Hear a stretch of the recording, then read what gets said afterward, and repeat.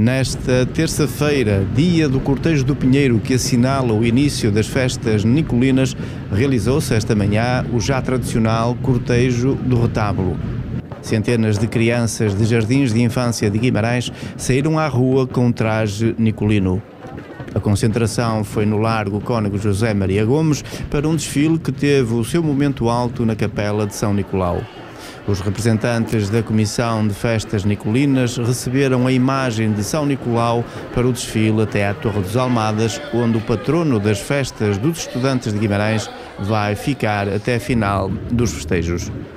A tradição do retábulo, que foi retomada este ano após dois anos de ausência devido à pandemia, atraiu a atenção de centenas de pessoas.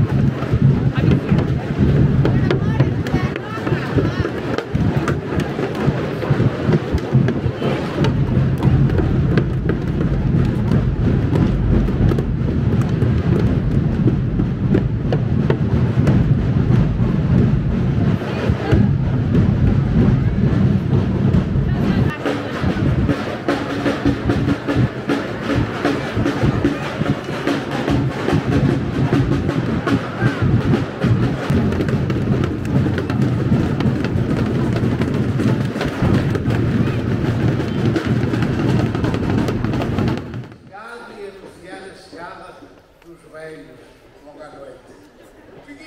Os filhos e os netos, os nossos filhos e os nossos netos estão cá para anunciar a festa. Viva São Nicolau! Viva! Viva São Nicolau! Viva! Viva São Nicolau! Viva!